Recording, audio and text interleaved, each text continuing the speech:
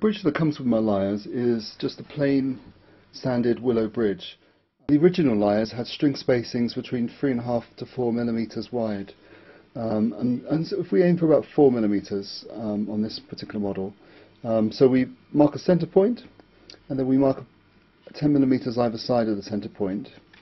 And then what we need to do is to mark 4 millimeters, and then make a mark.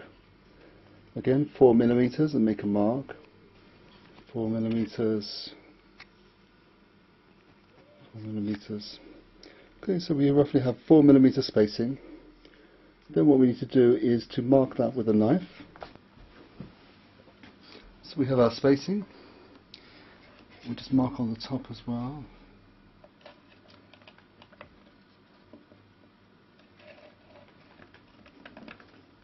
You want to get it as even as possible so that there's the same space between each one. We can adjust it once we've cut it into it a little bit, but try and keep the spaces equal.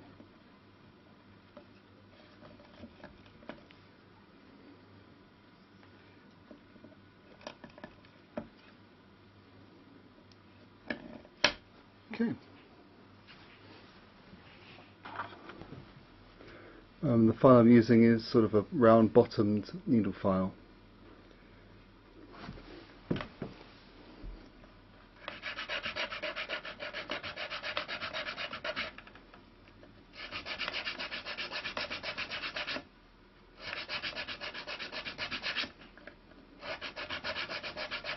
I'm doing it one side and then doing the other side. Using the pencil line as a guide to try and keep the, the cut straight.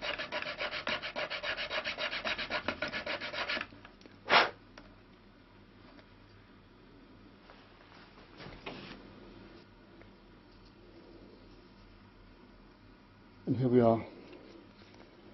Now we can make we can make some adjustments um, by angling the cut a little bit on the top here to make sure they're all equal. That one needs to be filed a little bit more.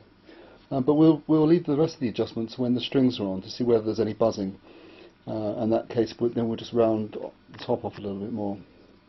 Um, okay, so we've got our tailpiece gut. This is um, synthetic nylon, uh, about 1.8, 1.9 millimeters. Uh, it's tied with copper wire.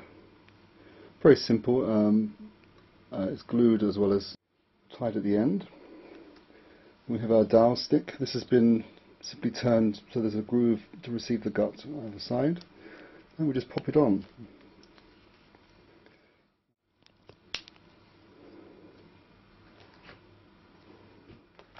Okay, so we take our tail gut, we hook it over the end of the lyre. Now this stage is just going to be loose, and that's fine, we can leave it loose. We start with the thickest string, which is the, um, the low G string. We're going to you hook it under, and then we need to tie a figure of eight knot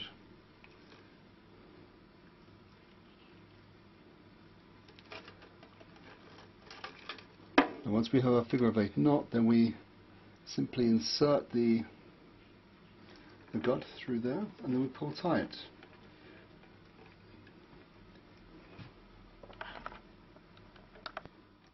We take our string, we insert it in the hole, and we pull it as tight as we can for the moment. We loop it around, and we tie a knot on the thicker strings because we can't insert them twice through the pin. So we tied a small knot there. Okay, now we can put that under a little bit of tension. So we have one string on, and you, as you can see, the piece is, is not balanced yet because there's only one string holding it. So we, what we now do is put on the highest string, which is the one on the far right-hand side, and we pull this string on to bring the tail piece under equally under tension. So again, we go under the under the dowel, we tie a knot, um, figure of eight in this example. Then we insert the end of the string through the knot and then we pull tight.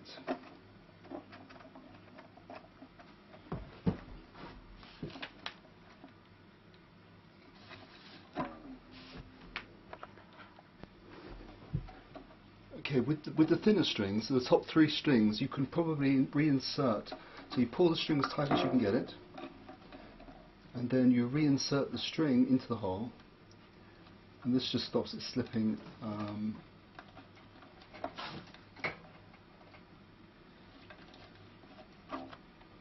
and then you can put some just low tension on the string for now, just just enough to. There you go. And all we're going to do at this end is to equalize the tension. We're going to sort of get the strings in, in place where we want them to be. The, the strings aren't up to pitch yet, so we can move them around a little bit. We can make see how things go. Now with the string spacing um, on the dowel stick, what we want to do is have a straight line as far as possible from the pin to the dowel. So what we need to do is to make sure the spacing here reflects that. So we have to sort of adjust it. You can see exactly what's happened now. I've equalized the strings, um, that's the six in the first string, and it goes all the way up to the top of the lyre. Okay, so that's the first two strings. Now what we do now, we do the second and the fifth, and finally the third and the fourth string, in exactly the same way.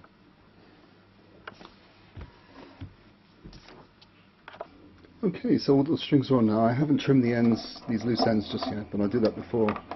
Um, and just look at the end here. You can see how, even though I've put the strings on light tension, it hasn't pulled the tailpiece over yet. So what we need to do manually, we just there we go. Just need to make sure that this is nice and straight.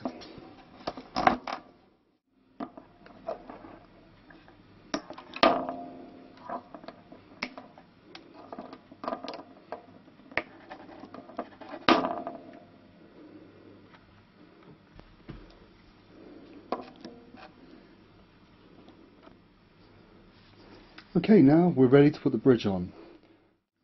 Take the bridge and you insert it under the strings, and then you put it in here, and then you pull it you, without touching the soundboard until you get to the center.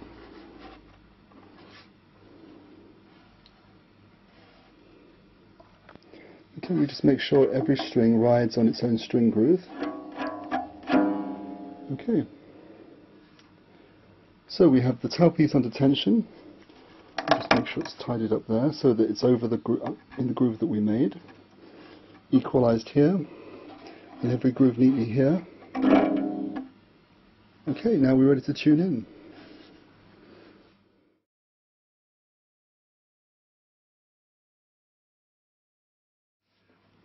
What we need to do now is to gradually bring the strings up to pitch um, we might, you might want to do this over a couple of days rather than um, all in one go. Uh, there's two ways of doing it. Either you bring the strings up gradually, or as you go you can pull the string and stretch it as you go. Around about a month after, after putting the strings on, you find that the lyre will start to improve its sound. It will become um, a little bit more focused and a bit more loud, and uh, the tone will start to change a little, a little bit. Uh, this is just due to the way the wood works with sound. Um, you, you, experience it with the guitars and with violins and other instruments. But the sound will improve over time. It's a solid piece of wood. Uh, the sound will get better. Put some masking um, tape on the strings to pull them out of the way because I don't want to cut the strings off yet. I want to leave them for, um, probably for a couple of days while the strings are stretching. Um, I've just tuned it in.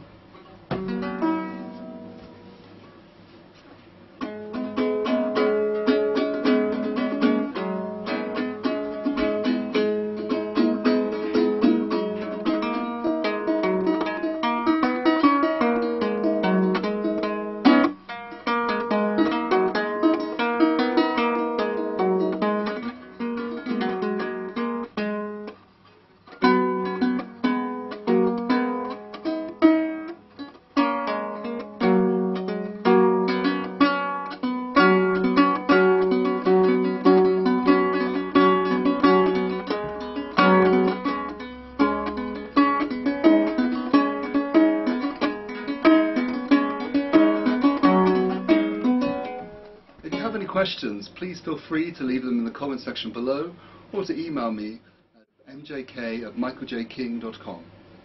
Thanks very much for watching. Goodbye.